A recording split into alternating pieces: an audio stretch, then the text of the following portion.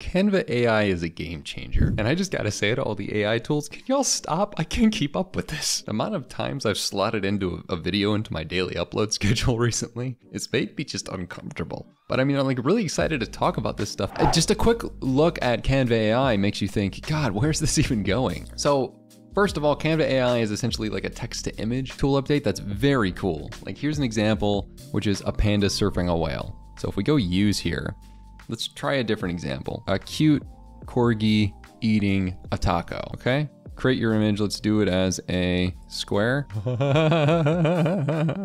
love corgis, guys. Look at this.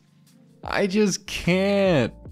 Like, what are we even doing anymore? We got Canva just giving us these beautiful images now of corgis eating tacos. Look at so cute. It's like this is a app channel, right? It's not a corgi channel.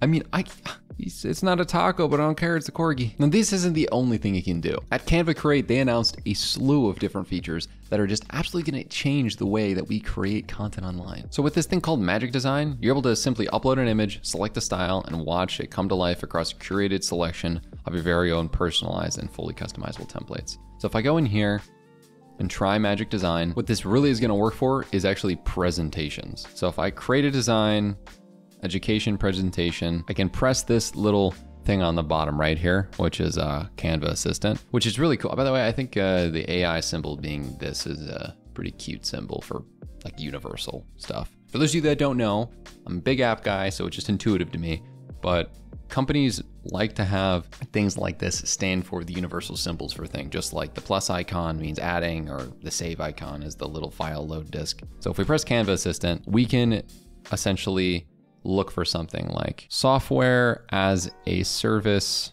sales presentation or software presentation. So we got a couple different choices here and we can have this whole pitch deck get implemented just like it shows in the example on their website. And then once you end up having it created, it gives you a bunch of different graphics that kind of match what's going on here on the presentation. And Canva as a tool is just becoming a little bit overpowered. I mean, the pro version gives you a content planner, so you can schedule content for your social media accounts directly from Canva. You can make the images, you can access it on any device, you can edit the photos now with AI on top of it. And I just don't see a product that has this level of stuff connected to it. I mean, you get thousands of free templates. Like what what even is the price on this? Canva Pro is like $10 a month for the yearly version and I think 12 for the other version and you're getting 100 plus million premium stuff.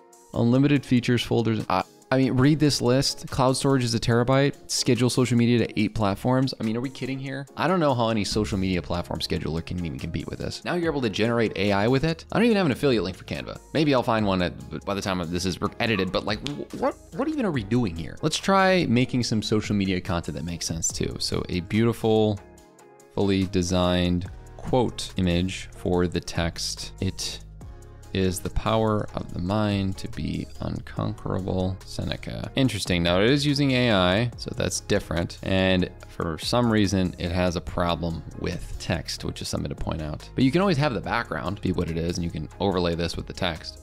So it does get you somewhere.